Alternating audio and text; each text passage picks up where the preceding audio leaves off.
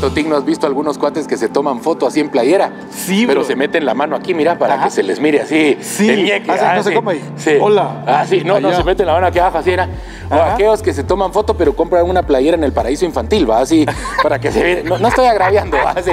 No. Se ve- nosotros Solo que nosotros nos vemos redondos, no así. cuadrados, va. ¿Por qué estamos hablando de eso? Hoy tenemos con nosotros a alguien que ganó el título de Mister Guatemala. Órale, man. ¡Wow! O sea, ese cuate no tiene necesidad de hacer así. Hoy, No. de hecho, no me quito el saco, ni loco, definitivamente. Su abuelo fue fundador del primer noticiero televisado de Centroamérica. Es coach, conferencista, escritor, pero sobre todo hijo de Dios. Eso es Así lo que mejor. démosle la bienvenida hoy a Willy Barrios. Adelante, Bien. Willy. Qué bendición tenerte con nosotros, mi hermano. Dale, pero sí suavecito, porque encima tú eres especialista en artes marciales y eso también está delicado.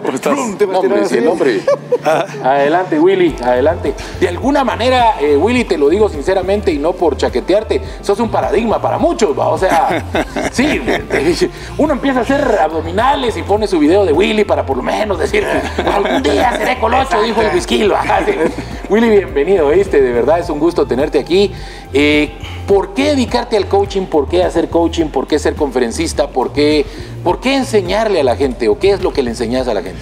Bueno, Tono, Totín, antes que nada, muchas gracias por la oportunidad. Muy agradecido con, con esta oportunidad que me dan de poder transmitir pues el mensaje que me pediste que transmitiéramos hoy, ¿verdad? Claro, claro. Y fíjate que más que un, que un coaching, yo me considero más que un coach, un mentor, porque coach ahora todos son coach.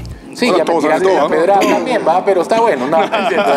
No, es decir, No, tenés razón. no, sin, sin- sin demeritar el trabajo de nadie, simple y sencillamente creo que ninguna persona logra salir adelante o logra salir, ¿verdad?, avante eh, solo con ciertas palabritas, con que de vez en cuando te Uh, visito. exacto.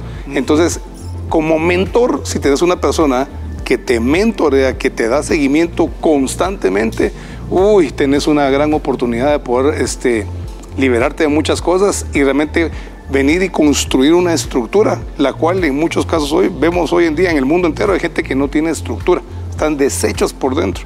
Y por eso es que me dedico a hacer esto, a ayudar a la gente, porque yo estuve deshecho por dentro por muchos años. Eso es lo más importante, Wow, exacto. O sea, ¿Verdad? estuviste en medios de comunicación, etcétera, te moviste en un ambiente de alguna manera muy mundano, ¿verdad? Definitivamente. Bastante. Bastante. Yo cuando te quedaste pensando dije, oh, tal vez me equivoqué, va, pero sí. No, no. Y, y- y- y es en ese ambiente, en ese proceso donde te encontrás con Dios. Ah, no, eh, me, Dale. me- me encontré con Dios en, en- en momentos, en un momento hasta los 27 años, Ajá. ¿verdad? Este, hace como 5, no, mentira. Tengo 28. Ahí dejémoslo. No, no. el hombre se mantiene bien, pero, tiene pero, en, 30, va, pero sí. en dólares, ¿verdad? Oiga, No, este, ahorita tengo 46, a Ajá. los 27 fue que me pegaron el frenón de mano. Ya era mucho, ¿no? Era una vida muy Ah, desordenada. es que a eso me refería, o sea, Ajá. recibiste un... Sí, un Hasta aquí. No, y ese frenón de mano, literal, porque fue un accidente de carro. Ajá. o sea que sí fue un frenón. Eh, ya había tenido una, un par de sobredosis y el, el accidente de carro no fue por sobredosis. Eso ya fue un tema como una lección más, porque yo ya tenía como seis meses de estar, eh, de haberle entregado mi vida al Señor, pero seguía todavía con queriendo hacer una última fiesta para adquirir, para ganar plata. Wow. Obviamente yo no, Hagamos la despedida. Sí, pero. Y aunque la intención solamente era plata, pues pasó esto, como decir una lección, mira, por ahí no, hombre, esa no es la forma correcta de hacer dinero. Qué tremendo, ¿Verdad? mi hermano. Qué tremendo. En ese accidente, de alguna manera, te ves confrontado con la realidad de tu finitud, vamos. O sea, nos podemos terminar en algún momento. Porque vivir un accidente de tránsito de plano impacta la vida como el que lo viviste, pues, ¿verdad? ¿Cómo llega Dios a tu vida, vos, hermano? Fíjate que eh, cuando pasa lo de este. Ah, bueno, sí, esto fue. Yo tenía, en ese entonces tenía seis meses de estar yendo a la iglesia, queriendo hacer algo, obviamente, que ya no tenía que hacer. Pero cuando llego a la iglesia por primera vez, un amigo que me invitaba cada rato. De hecho, él empezó a pasar por diversas pruebas Ajá. y yo sin saber nos hicimos muy amigos y empezamos a platicar y todo. Y me invitaba a decir, no, a mí no me estás invitando a esa cosa. No, no, no, no, no. Yo no soy de esa cosa. ¿no? Veniste y me invi- o sea, y verdad, Me recordaste a mí mi ¿verdad? Sí. Entonces, Todos pasamos por ese. y me invitaba y me invitaba y me invitaba y definitivamente que, o sea, yo siempre le, decía que no, a mí nada más eso no es para mí, hasta que un día estaba un fin de semana, domingo, sin nada que hacer, ¿verdad? Ajá. viendo tele, me aburrí, la apagué y en eso suena el teléfono. ¿Verdad? Ya te estoy hablando de un tema de varios meses de estarme Ajá, ajá. insistiendo. ¿Qué, ¿Cómo estás, Willy? Bien, ¿qué estás haciendo? Nada. "Mm, ¿Sabes para qué te llamo? Sí, ah, otra vez le digo, no, no, no, ya no más. Pero mira, mano, me dijo, mira, no tienes nada que hacer. ¿Qué perdés? Me dice. ¿Qué perdés? ¿Vas a perder algo? Me nivel de cuate, man. Sí. Entonces le digo yo, pues la verdad, ah, vamos pues. Y poniendo un pie en, eh, en casa de Dios, tenían como invitado en casa de Dios a Joe Rosa. Ajá. Ok. Ah, es deportista, vamos, ¿no? ¿Qué es? No, no, no, Joe Rosa es un, es un predicador. Me sonó predicador de deportista, fíjate. puertorriqueño. Ajá. Eh, es un testimonio, o sea, si bien estuve, yo tuve adicciones y parranda y lo que querrás, pero obviamente de ahí no pasó, justificando del Sí, otro. ah, uno dice, "Ay, no fue mucho", aunque uno sabe pero, la no, pero, pero espérate, es que cuando yo lo escucho hablar a él, había sido una persona que había estado preso en Nueva York por años, había, estaba perteneció a pandillas, se conoció con su esposa de cárcel a cárcel por carta, ex lesbiana, ex prostituta, ¿sí? Entonces, y dijo él que también, si no- creo que hasta donde recuerdo, había matado gente. Entonces, cuando yo escucho el testimonio, dije, yo fui un un angelito. santo. Sí, pues. Así salió. Exacto. No, yo era un ángel, yo era un querubín, Ajá, ¿verdad? ajá. Entonces dije, no, pues, me, o sea, me impactó tanto que de hecho me recuerdo que ese día pedí hablar con él. Y dice, no, mira, es que así no, no, yo quiero, y, y yo necio, ¿verdad? Y sabes qué, humildemente él vino, voy a hablar con él. Y hablé Entre con miles, él. porque y- ya habían miles. No, había terminado ya el servicio, ¿no? Pero. Ah, no, pues, pero entre miles uno que pida. Sí. o sea, como para decirlo, o sea, como no. Sí. Y que, Uy, y que no, haya. Sí, no, yo, yo no sé ni realmente cómo, de- de- dentro de todo mi soberbia, todavía Dios fue misericordioso y le había dicho, mira, atendeme a este patojo loco porque necesitamos Era- era trabajar en él. Sí, la voluntad de Dios. Y bueno, pues lo conocí, me habló y realmente eh, con él fue que recibí al Señor en mi corazón. Wow. Y de ahí pues continué este proceso con este mi amigo que, me, que fue el que me convenció, ¿verdad? Finalmente para ir. Y empezó un proceso muy bonito, pero muy duro. ¿Verdad? Y es que yo siempre he dicho, nosotros somos el resultado de la oración de alguien, bro. Somos Eso, el resultado de la sí. oración de alguien. Alguien vino y oró para que nosotros conociéramos al Señor. En mi caso era una viejita que ni, ni familiar era y que siempre decía para que con, un día tenga un encuentro personal con Dios. En este caso fue tu amigo que oraba y ahí va para la batalla, porque es una batalla el llegar a Sí. decirle a alguien, mira, Dios quiere cambiar tu vida. ¿Y qué es lo que lleva? Lo que llevo es el- lo que ha hecho en mí. O sea, y, y hoy es lo que ahora tú haces con otros. Puedes decir lo que Dios ha hecho en mí, pues también lo puede Sí, hacer pues, si lo hizo contigo, ¿no? conmigo, ¿por qué no con Lo puede hacer ustedes? Con, con todos, ¿no? Willy, fue duro. ¿Por qué fue duro? Describinos básicamente por qué lo duro. Yo creo, que, yo creo que esto que voy a decir le va a ayudar mucho a muchas personas. Lo más duro para el ser humano, muchas personas dicen, ah, vos que dejar la fiesta, dicen, ¿no? Que dejar el guaro, que dejar el cigarro, que dejar eh, eh, la pornografía o el sexo ilícito o el visitar no sé quién o mis amigos. No, no, no. Yo les voy a aclarar hoy qué es lo más duro para el ser humano, que Ajá. ahora que lo veo con tanta claridad lo entendí. Lo más duro que, que- yo pasé por situaciones espantosas, hasta, bueno, económicamente me llegué a quedar hasta sin comer. Ajá. Y la gente dirá, ah, la sí es muy duro, a mí también me pasó eso y me pasaron cosas peores. Está bien, pero si analizamos bien qué es lo más duro para el ser humano, es dejar la vieja información que traías. Cambiar el chip. Eso es. La batalla, si te pones a pensar, la batalla es cómo me deshago de lo viejo, Ah, wow. ¿verdad? Eso es todo, porque entonces, entonces estamos Y es que hay sufriendo. un quebranto del ego. De Por plano. supuesto, y estamos sufriendo por dentro porque no sabemos cómo- qué está pasando, porque eh, obviamente ahí arriba, ¿verdad? Está entrando todo un...